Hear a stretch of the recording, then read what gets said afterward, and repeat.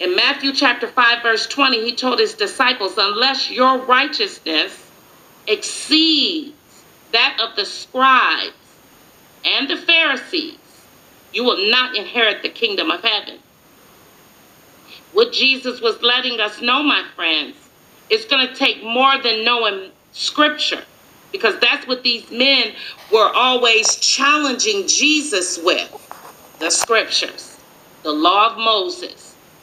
This is all they did was constantly wave at Jesus.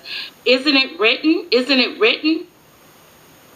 And Jesus said, if this all you're working with, on the outside, he called them whitewashed tombs. You look deep. You got that doctor title on you. You got that I'm the Reverend on you. You got that I'm Prophetess Johnson. I'm Apostle Moore. I'm Apostle Johnson. I'm Apostle Jones. You wearing the outside very well. But Jesus said inside, full of dead men's bones. And this is where, my friends, many of us are nothing but actors. Oh, yes, my friends. And we need to be passing out some Academy Awards